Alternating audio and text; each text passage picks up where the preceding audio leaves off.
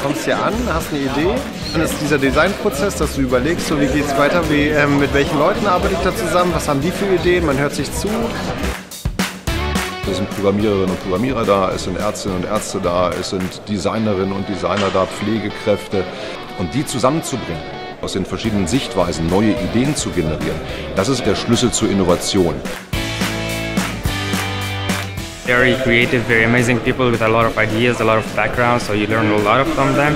So just learn, have fun, meet cool people, just like better than going to a disco like for me.